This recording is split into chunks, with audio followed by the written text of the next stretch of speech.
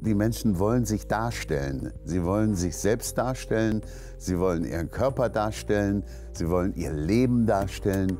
Und das alles hängt ja auch mit dem Körper zusammen. Jeder hat ja auch sein Medium. Der eine hat das Meer, der nächste hat die Berge. Der Körper ist aber sicherlich das aufregendste Medium. Für mich. Und deswegen habe ich mich dem Körper so zugewandt.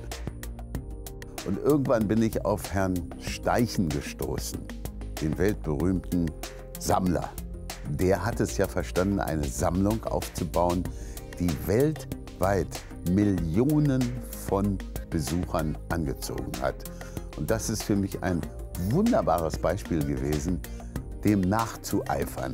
Und so bin ich im Grunde genommen zum Sammler geworden und vom Sammler nun zum Museumsdirektor auf Wolke 3780.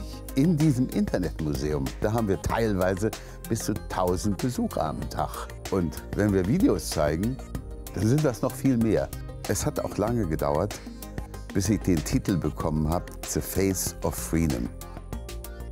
Und so sind wir dann auf die Idee gekommen, äh, die Sammlung, und der Titel ist geschützt, The Contemporary Family of Men, was einen Bezug zu Clairvaux herstellt.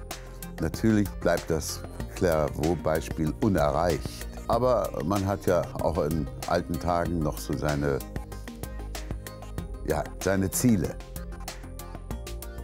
Und heute äh, geht der Zug zum bewegten Bild. Das heißt, es wird sich ändern. Aber der Körper wird natürlich für unsere Freiheit immer wieder im Vordergrund stehen. Wenn wir das dann auch noch mit dem politischen Körper vereinbaren, das ist dann noch spannender, weil die Situation, in der wir heute leben, äh, doch sehr unangenehm ist, leider. Und ich freue mich immer, wenn es Künstler gibt, die den Mut haben, das zu tun.